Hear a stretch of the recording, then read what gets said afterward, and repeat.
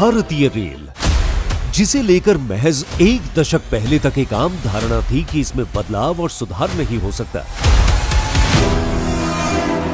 पर नामुमकिन को भी मुमकिन बनाने वाले देश के दूरदर्शी प्रधानमंत्री श्री नरेंद्र मोदी जी के निर्णायक नेतृत्व में रेलवे में बदलाव के लिए हुए अथक और समग्र प्रयास, नए भारत की रेल को आधुनिक कलेवर देने के लिए पिछले 10 सालों में रिकॉर्ड 12 लाख करोड़ रुपए का किया गया निवेश और बदल गई रेलवे की तस्वीर।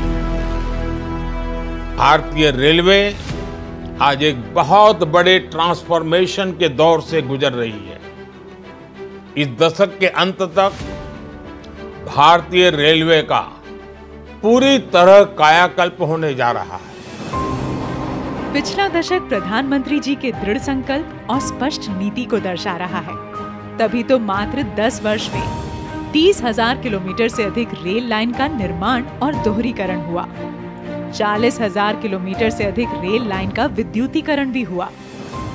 छह हज़ार से अधिक स्टेशनों पर हाई स्पीड वाईफाई की सुविधा डिजिटल इंडिया की पहचान बन रही है। डेडिकेटेड फ्रेट कॉरिडोर से माल ढुलाई में तेज़ी आई है। तो वहीं अत्याधुनिक सुविधाओं से युक्त स्वदेशी वंदे भारत और अमृत भारत ट्रेनें आत्मनिर्भर भारत के सपने को साकार कर रही हैं। देश भर में स्टेशनों के सौंदर्यीकरण एवं आधुनिकीकरण का काम बड़े स्तर पर एक अभूतपूर्व गति से हो रहा है यात्री सुविधाओं को बढ़ाने और रेलवे इंफ्रास्ट्रक्चर को विश्व स्तरीय करने के लिए 1300 से अधिक रेलवे स्टेशनों को अमृत स्टेशनों के रूप में पुनर्विकसित किया जा रहा है। अमृत भारत स्टेशन योजना के अंतर्गत भोपाल का रानी कमलापति स्टेशन हो, गुजरात का गांधीनगर कैपिटल स्टेशन हो, बेंगलुरु का सर एम विश्वेश्वरैया टर्मिनस हो, या श्री राम जन्मभूमि स्थित अयोध्या धाम स्टेशन।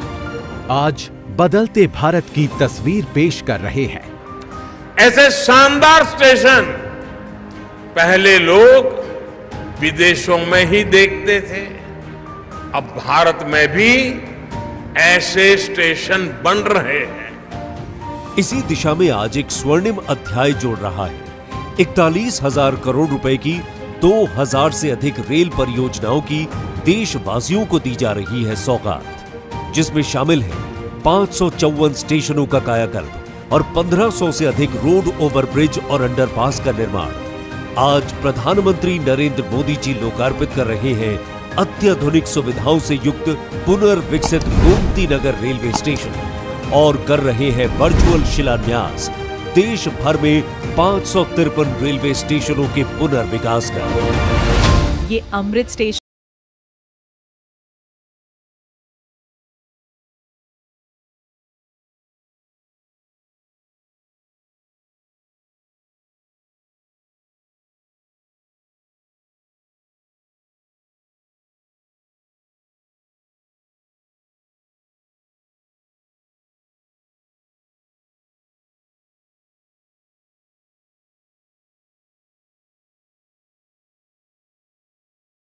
में भारतीय रेलवे नागरिकों की सुरक्षा के प्रति बहुत ही गंभीरता से काम कर रही है। सुगम रेल और सड़क